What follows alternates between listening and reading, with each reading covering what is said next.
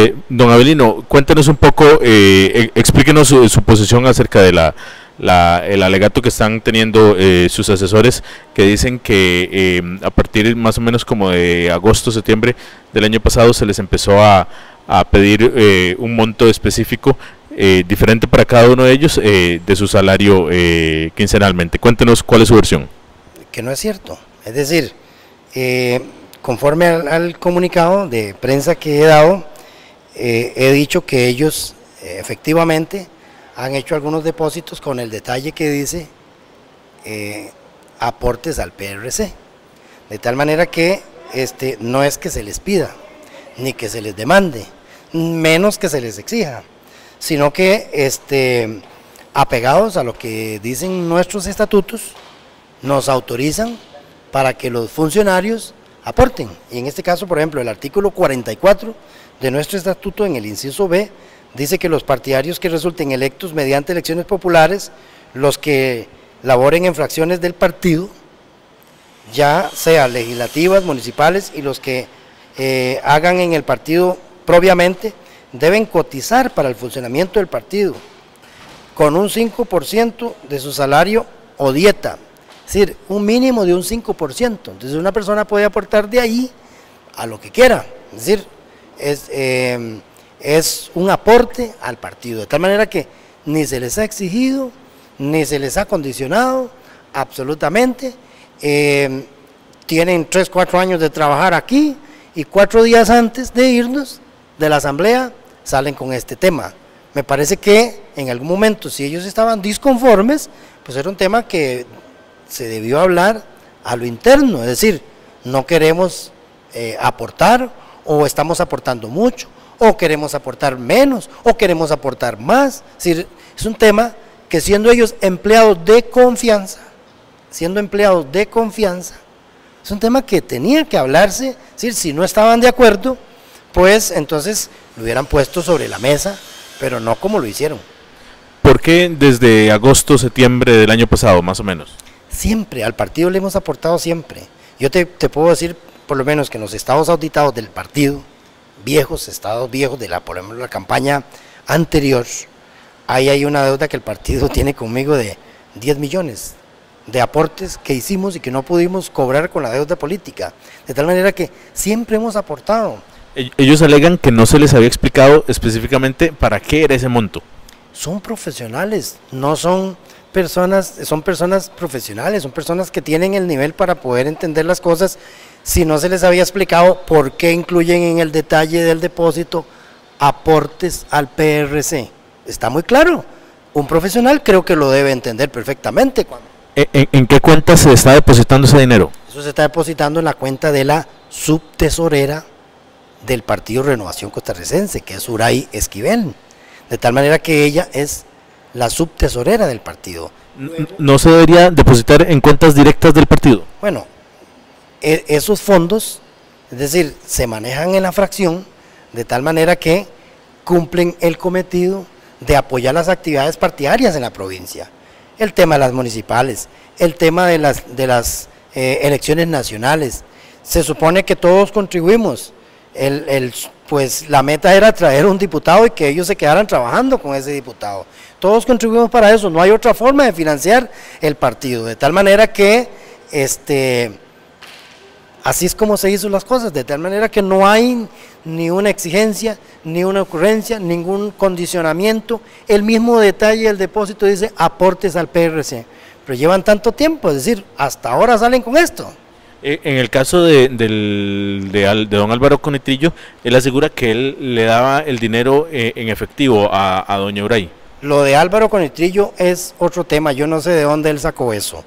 Yo me puedo referir en este momento a lo de la licenciada Shirley y a lo de Jocelyn eh, Rodríguez. Absolutamente, lo de Álvaro, no sé de dónde él saca ese tema y que inclusive usa términos, cuando le contestó al periodista Esteban Mata, usa términos que yo, por ejemplo, no uso eh, para referirse, que los periodistas me conocen, son términos que yo no uso. Y él dice que yo dije yo con él no he hablado nada, este es un tema administrativo. Yo salgo a, dar declaraciones ¿Por qué? Porque es mi fracción, están diciendo que me han dado a mí, a mí no me han dado nada, y me parece que eh, en algún momento se usó un término eh, económico malicioso en la prensa, con la palabra diezmo, que, creo que el fondo de ese tema lo que quería era afectar de alguna manera eh, el sector cristiano. ¿Me está diciendo usted que, que don Álvaro no les dio dinero? Don Álvaro, yo no sé absolutamente nada si aporta, yo creo que Álvaro es el que no ha aportado nunca nada. No, no les ha dado ningún mes dinero. No, señor. Ahora, eh, ellos dicen que fueron despedidos eh, de forma informal en la mañana. En, eh, se les dijo que estaban despedidos esta mañana en una reunión en su despacho. Sí, están despedidos al 30 de abril. ¿Usted les dio esa fecha? Sí, al 30 de abril están despedidos. ¿Les entregó un documento que dice eso? Mm, es decir, el, el, contrato de las personas que están actualmente vencen el 30 de abril, de tal manera que este no han sido despedidos, como ellos dicen. Pero usted no les dijo eso hoy en la mañana. Bueno, tuvimos una conversación donde se hablaron varias cosas, pero en fin, lo único que eh, comentamos es que el clima laboral ya está deteriorado por lo que se está dando, pero eh, nos quedan tres, cuatro días y nos despedimos de aquí, donde todos, el contrato laboral de ellos vence y el mandato constitucional nuestro también vence. Don Antonio ya les confirmó que usted mandó la carta de despido de estos funcionarios y que luego eh, pidió que se retirara. Nosotros no hemos tenido en ningún momento, es decir, eh, la intención de despedirlos eh, arbitrariamente. Pero sí mandaron la carta a la dirección ejecutiva. Es decir, en un momento conversamos el tema de la posibilidad de, de despedirlos antes, pero después es decir, conversamos ese tema, pero, pero, este, sí, claro, pero, pero siempre estuvo sujeta a que era un tema que lo estábamos procesando, porque además tiene que reunirse el directorio, el directorio es el que aprueba eso, eh, de tal manera que después, valorando el tema, nos dimos cuenta de que no tiene sentido, en verdad, despedir a una persona a estas alturas, cuando faltan apenas 3, 4 días, así como no tiene sentido el hecho de que ellos hayan sacado este tema, habiendo trabajado tanto tiempo en el despacho, que yo sigo insistiendo y ojalá lo publiques en la nota, porque como empleados de confianza no se acercaron y dijeron, no queremos aportar, no queremos dar, no queremos aportarle más al partido, y hubiéramos conversado, es decir, como empleados de confianza. Me parece eh, eh, ¿Eso no habría significado el cese de funciones de ellos? Absolutamente, absolutamente. Y se podrá constatar que además de que el estatuto dice eso, la, contribución nunca es forzosa. La contribución siempre es un acto de que la persona se compromete a dar. Cuando, hace tiempo, cuando estaba eh, Justo Orozco era diputado, nosotros aportábamos al partido, yo aporté al partido. Precisamente esa era la, última pregunta, don Abelino. Esta eh, no es una eh, ¿cómo decirlo?, una acción que solo se, solo se, se realiza en su despacho, lo, lo hacen los, eh, el otro despacho de, de, Renovación Costarricense y lo han hecho los otros diputados eh, del partido. Bueno, además, no solo lo hacen, como dice aquí, todos los funcionarios, los que laboran para la fracción Renovación Costarricense, la práctica de aportar para el funcionamiento de los partidos es una práctica común en la Asamblea Legislativa, lo hacen las otras fracciones políticas. Y esto es muy bueno, pues, consignarlo en honor a la verdad.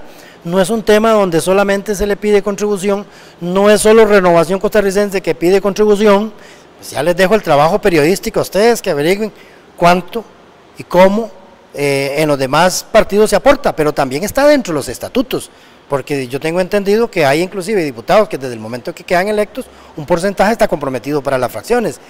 Y ojalá lo consignen así, porque yo creo que no se vale. Es decir, eh, si una persona que, que es empleado o empleada de confianza está disconforme con su condición laboral, la práctica correcta es acercarse y conversar el tema en una mesa. ¿Estamos de acuerdo? ¿No estamos de acuerdo? ¿Cómo lo mejoramos? Si podemos aportar más o menos, es mucho lo que estamos dando, no, no debería ser eso, debería ser poco, pero como tiene que ser, me parece, en un contexto de, empleados de confianza. Don Avelino, ¿hay comprobantes de, cómo se ha usado este dinero eh, eh, en beneficio del partido?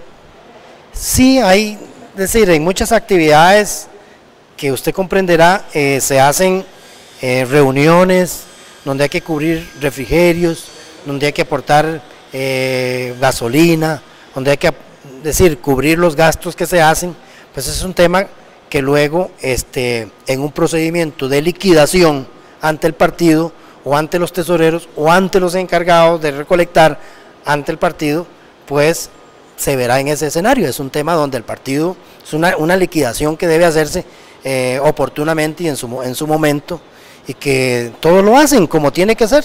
¿Ese dinero ha pasado en algún momento por cuentas del partido?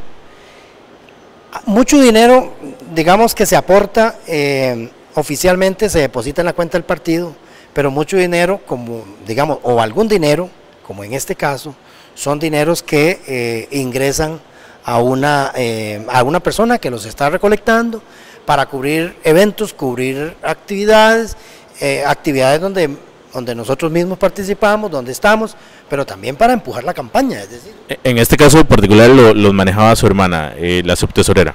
Digamos que ella recibía los depósitos o las transferencias de esos aportes de esas dos funcionarias.